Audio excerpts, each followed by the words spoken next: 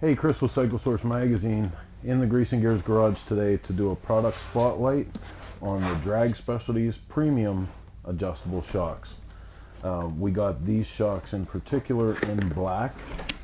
This is going to go on our shovel head project for Twisted Tea. Um, here's what's nice about this. Black shocks, black bodies, black springs, 10 and a half, so this is lowrider all day long. Um, adjustable spring rate. You can see here in the springs, looser here, tighter as it gets up to the top, so it's a progressive spring.